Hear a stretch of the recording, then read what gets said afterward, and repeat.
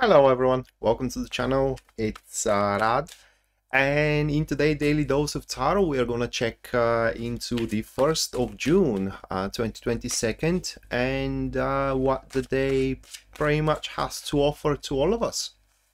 So uh, if any of you is interested in a personal reading with me you can find my website in the description down below and without further ado let's uh, jump into the uh, into the day and uh, what it has to offer. So the first card of the day that is uh, going to be the seven of uh, Pentacles, uh, followed by the second card here, which second, which stands as the nine. It's the nine of wands. It's the second card. And the third card of the day, uh, that is going to be the Knight the Knight of Wands. Okay. So, uh, we do have these three cards for the day itself. And uh, the day is gonna be more of a brainstorming than actually making some or taking rather some uh, some physical actions throughout the day. So on the uh, on the physical scene, the day is going to be quite unremarkable in a sense of that our daily routine is going to to move on throughout the day the the, the way we have planned that this routine should be executed. Now on the uh, on the mental front though, there are going to be couple of um, couple of things which are going to be more uh, pronounced than others.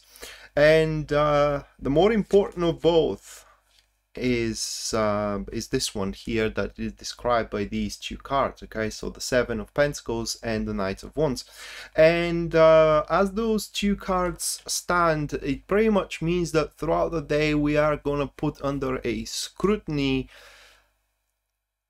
type of people or characters that we that we relate to. And if i have to describe the character these are a characters who are okay so suffice to say these characters they are a immature sure i don't know how to put it in another words it's kind of like wherever comes about it's always about the joke all right they're, they're always try to make fun of it. It's just the conversations with this type of people. They are a conversations that has nothing to do with the importance of life. It is all it is only for fun. It is only for you know killing time and so on and so forth.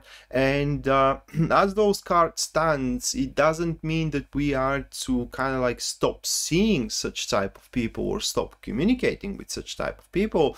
But uh, what we are gonna try to answer to ourselves is how important part of our life this such kind of people have for us. And therefore uh, for throughout the day we are gonna pretty much put a how big how how much of a value such kind of communications have and how much time we are wasting in such kind of a uh, in such kind of a communications. And that is going to be provoked by a, a certain individual okay? Maybe we wanted to have more than that with this individual but we see that we can't okay? Or maybe it is that this individual it's uh, poking their nose where their nose doesn't belong.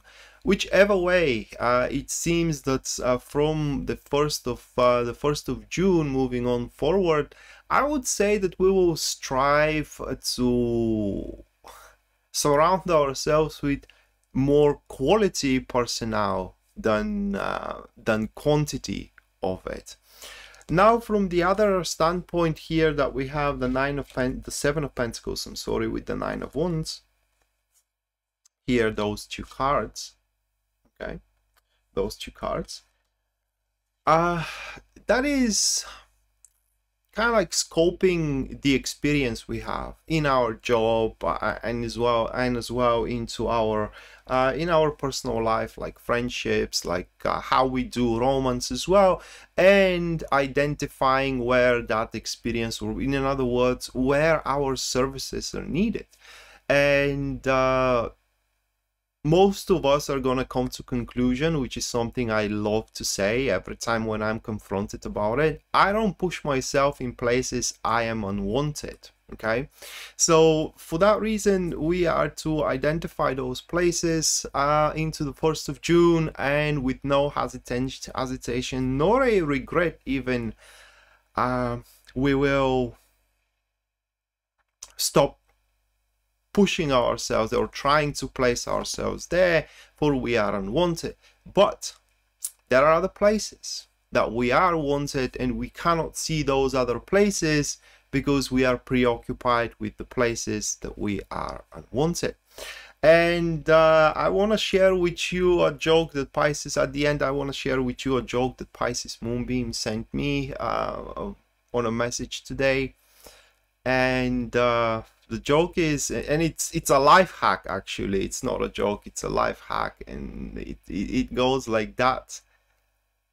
Fall in love with your problems. They may leave you too. Yeah truth.